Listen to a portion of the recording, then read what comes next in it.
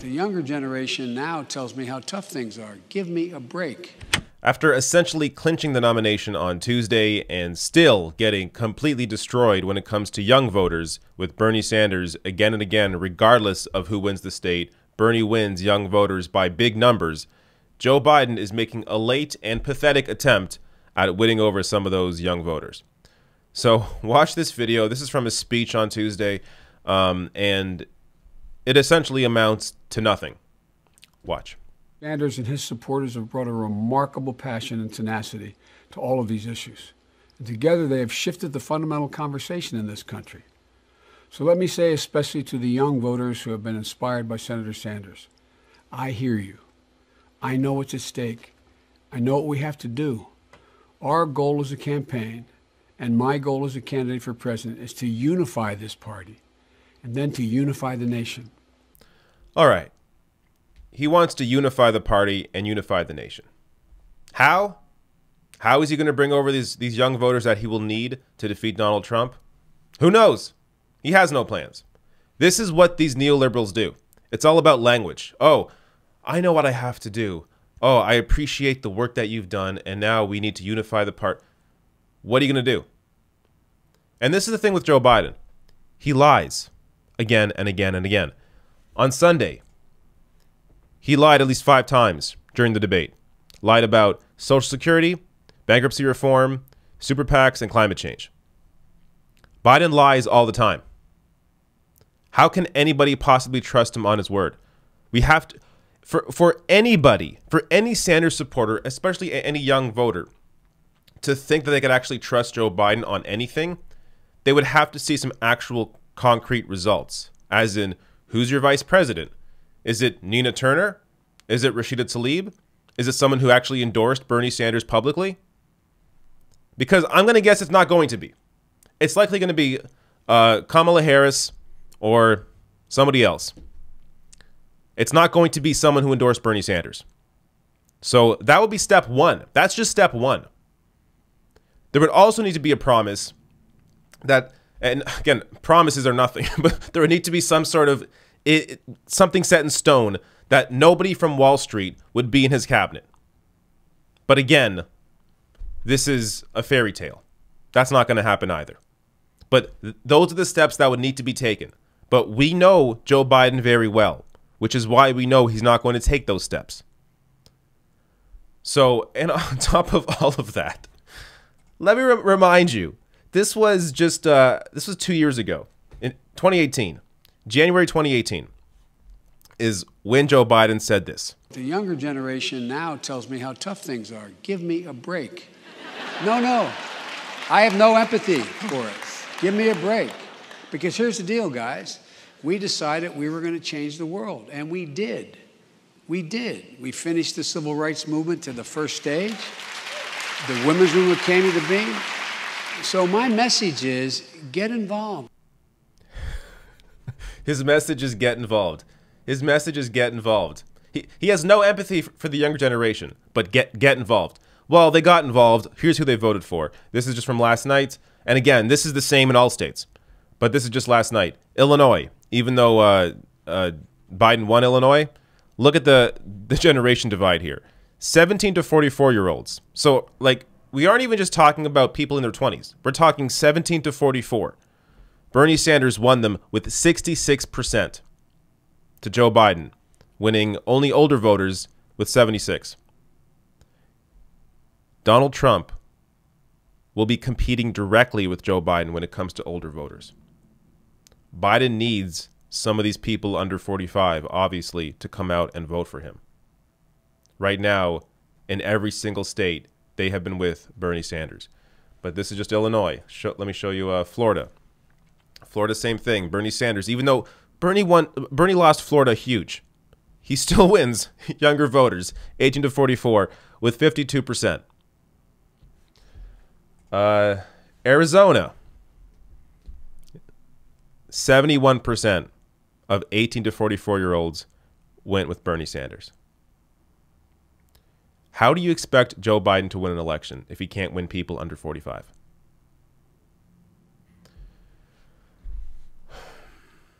And uh,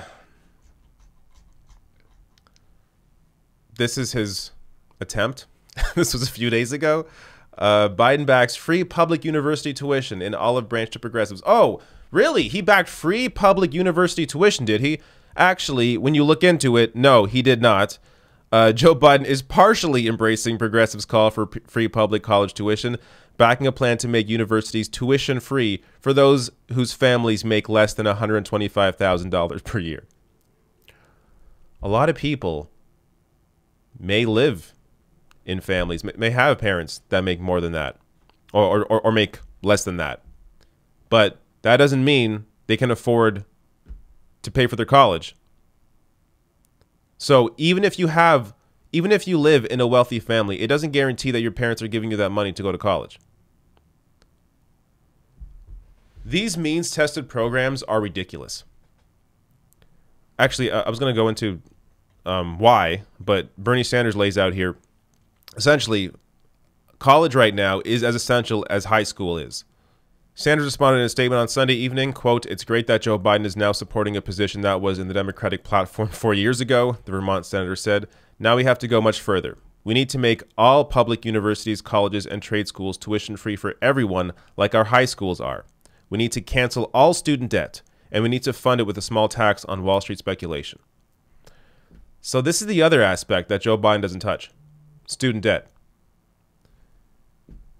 People are living under mountains of student debt.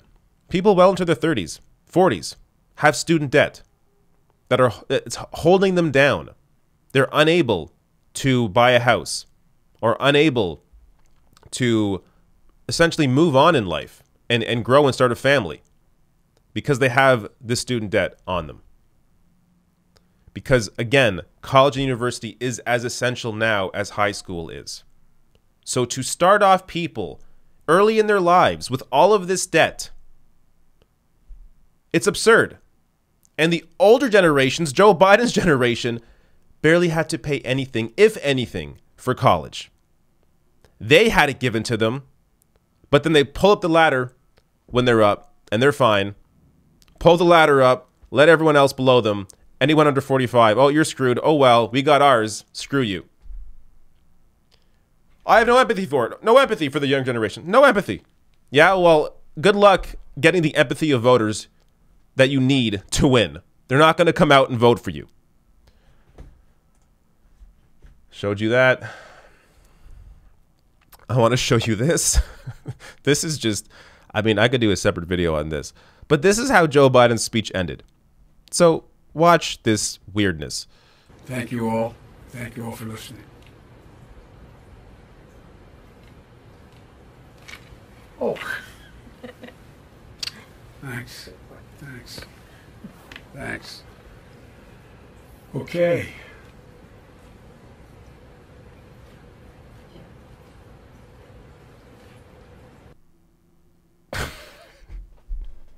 this is the end of the speech.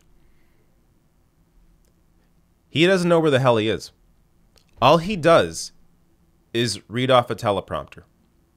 When the teleprompter stops, he stands there like a confused old man because he's not well.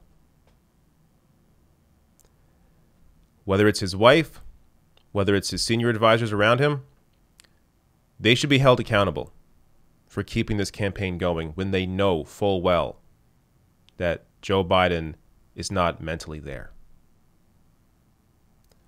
And you're somehow going to win young voters with this dude? It's crazy. One more tweet here. Yesterday, Sanders supporters were pleading to anyone who would listen to postpone the primaries, and libs were saying that postponing it would be a bad precedent or blocking Biden. And today they're saying that Sanders needs to drop out because people had to go vote in a pandemic. This is what's going on right now. For the past week, progressives, Sanders supporters, or really anybody with a brain, have been saying the primaries should be postponed. It is not safe for people to go out and vote, regardless of how it affects the election. I'm not even sure it would help Bernie. In fact, I think it may hurt him to delay the primary. But regardless, I don't that that wasn't on my mind. That nothing that has nothing to do with anything. The reality is, it was not safe to go out and vote. Yet the DNC, Tom Perez, continued pushing this idea out there that, oh, we check with the states, they're, they're completely ready, they're prepared, people can go out and vote, it's fine, it's safe. It wasn't safe. There were crowds of people waiting for hours in the middle of a pandemic with an incredibly contagious, uh, contagious virus.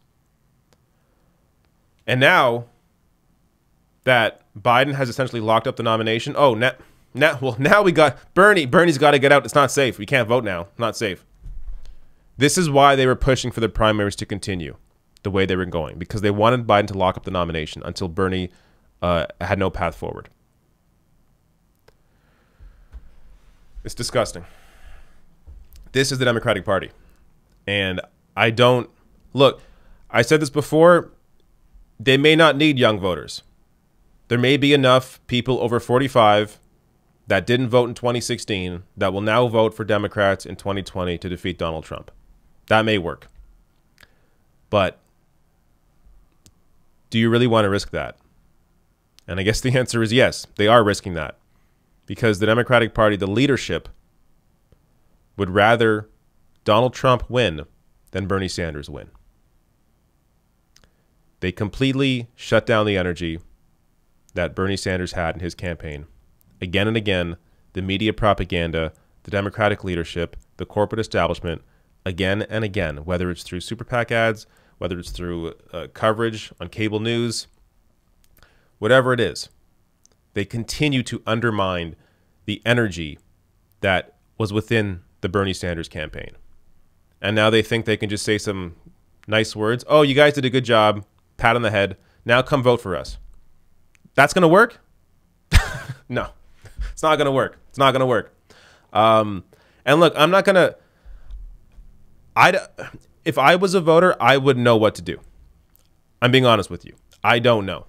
I'm conflicted internally, which is why I'm not telling people what to do. You make your own decisions. I'm not going to voter shame you. I don't think voter shaming works. Maybe you choose to vote for Biden, fine. Maybe you don't, fine. I'm not going to tell you what to do. It's something I have to sit on myself and think about because I honestly don't know the answer. Especially right now, you're seeing, you're actually seeing the Trump administration run to the left of the Democratic leadership in the response to the virus. So right now, Republicans are doing something in, that's brilliant. They're engaging in economic populism, whether it's UBI, whether it's putting a moratorium on, on evictions, um, running to the left of the Democratic Party on, on economics in hopes that that will bring people over.